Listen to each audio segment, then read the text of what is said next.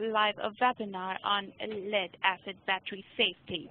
My name is Liz and I'm going to be your host today.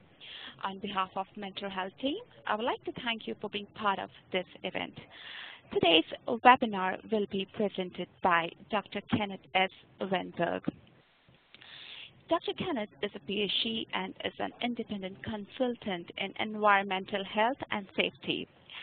Kenneth has consulted for several companies in the areas of OSHA injury and illness reporting, as well as auditing for OSHA inspections. He has worked as the Director of Safety at Mass General Hospital in Boston for almost 12 years and has written several books on the topics of healthcare safety, OSHA, and indoor air quality. He has also written several articles for prominent national safety publications and serves on the editorial advisory boards for safety publications. Also, he has been administrator of the healthcare division of the American Society of Safety Engineers and is a member of several panels that, that advise on safety-related matters. We are honored to have such a distinguished person such as Dr. Kenneth S. Weinberg with us to present this webinar. Ladies and gentlemen, before we begin, I would like to inform you of the program outlined for today's training session. This webinar is for 60-minute duration. First, Kenneth will take you through today's webinar, highlighting the area that will be covered, and he would then share with you his presentation. I would also like to inform you that all participants, once they're part of this teleconference, they have been placed on mute, and it will remain so until the Q&A begins towards the end of this session. This is for the purpose of avoiding any kind of discontinuity and also allowing the presenter to speak clearly so that everyone who is present in this session can take maximum benefit. I also request all to hold back your questions until the Q&A window begins. 10 minutes of time will be allotted for the Q&A, during which your questions will be answered. Ladies and gentlemen, if for any reason you get logged out of this training session or the teleconference, I request you all to follow the same procedure to join in again. Now that we are all ready to start, I request Kenneth to take it from here. Kenneth. Thank you. Uh, good morning or good afternoon, everyone, depending on where you are. Uh, thank you for joining us today. I know it's a tight time of the year because of the holidays coming up, so we really appreciate you uh, joining us. Now today we're going to talk about uh, lead acid battery safety and um, let's see, for some reason the machine skipped here, so let's see what we can do. I apologize, we're already in. Okay, the presentation today will uh, allow you to understand the basics of lead acid batteries, recognize the hazards associated with lead acid batteries, know how to work safely with these batteries and what protective measures are necessary uh, when working with uh, lead acid batteries. Um, I'm going to show you a picture now. And uh, as soon as I can get this to... Okay. And uh, these are all items which uh, some of them are work-related, couple, um, and one of them is uh, mostly pleasure related, unless you're in the Coast Guard and sweeping for uh, drug runners. But these all have in common the fact that they all run on the lead acid battery. And here's just a little um, picture of what, what the general lead acid battery looks like. And you can see that there's a positive terminal, a negative terminal, uh, there are cell connectors um, uh, running from the positive terminal. There's also the vent cap, which are the covers uh, which you can locate um, if you go take a look at any of the uh, lead acid batteries that, that, that you have, uh, including mostly in your vehicle.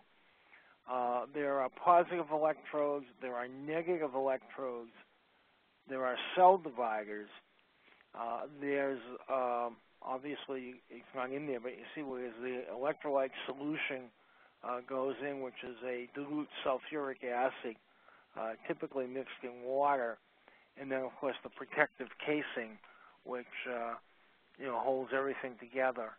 and hopefully works to prevent uh, corrosion. Now, lead acid batteries are everywhere.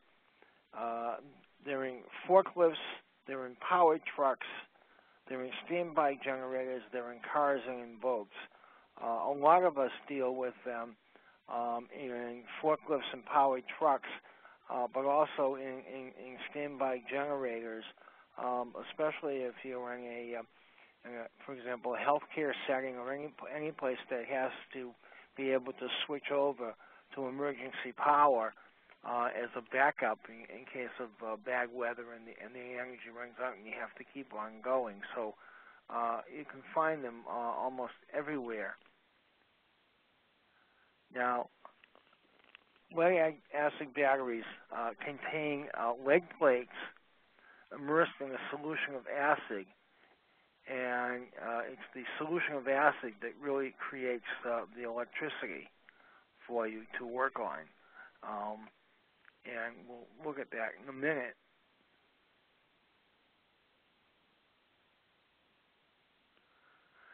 So the lead acid battery has the lead plates, which I showed you, uh, and they're the electrodes. Um, in today's battery, they're really a combination of lead and antimony, uh, not just pure, pure lead. And then the plates are in an acid solution, and the acid solution is the, an electrolyte solution for all of you uh, chemistry aficionados. Uh, and that's what transmits the electricity uh, through the battery. Pretty simple when you think about it. And um, when you're in your chemistry courses, uh, wherever you wherever you took them, you probably set up a solution uh, to transmit uh, electricity using a simple setup like this. Okay. Now, what are the hazards that are associated with lead acid batteries? Well, believe it or not, there's uh, hydrogen gas, which is emitted as part as part of the process of, of the electrolysis, which is what happens when the electricity is generated. There's sulfuric acid, uh, which is in the in the mixture. Um, you also have a potential for being shocked and there's also uh, a problem with how heavy the battery may be. Uh, some of the some of the batteries may be very very large and may may present uh, um, a hazard of uh, ergonomics or uh, some such thing. Okay, now I don't know why that went backwards, and I was trying to figure this out. But okay, now statistics on injuries. Uh, it, it's interesting. I, I mean, when you do injury and illness reporting uh, in a lot of places. That, you know, people look for the slips, trips, and falls, uh, but I don't think people generally are aware of injuries associated uh, with with um, working with lead acid batteries. Um, every year in the United States, about 2,300, and these are from the U.S. Department of Labor, by the way, these statistics. 2,300 people are injured using lead acid batteries. Half of those injuries are burns to the face and eyes uh, because the batteries have exploded, and the rest are due to uh, injuries from lifting the batteries, usually to the back or the neck or the or the upper arm. So uh, it's about a 50-50 split, um, and uh, I think to me the explosion one is the is is kind of the scariest.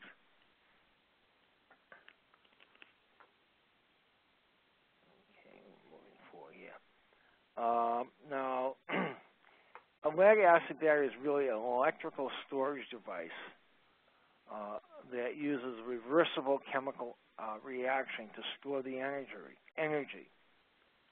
Uh, the sulfuric acid is about 35% of the electrical solution of the uh, of the electrolyte solution, and the usual diluent, the thing that you dissolve that acid into, is water. Just uh, usually distilled water is the best way to go because it's purer.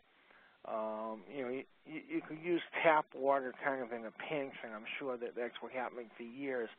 But uh, tap water really has a lot of uh, potential contaminants and minerals in it, which could actually affect the operation of